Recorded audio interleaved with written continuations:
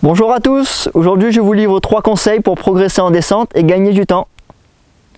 Alors premier conseil, on va commencer par un travail explosif en faisant un sprint pour installer une pré-fatigue et enchaîner avec une descente technique le plus rapidement possible.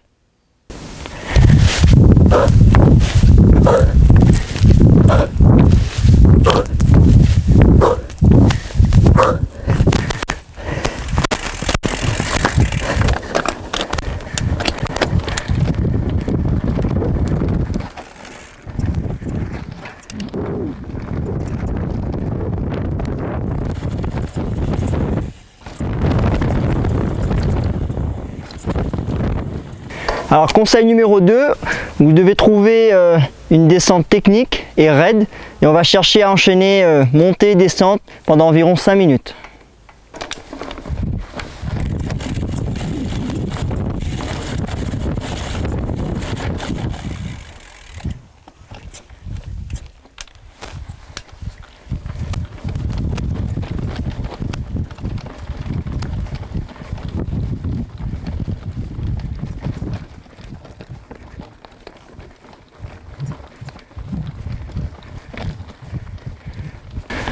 Troisième conseil pour progresser en descente, je vais entrer dans le virage en apnée. Et j'expire en sortie.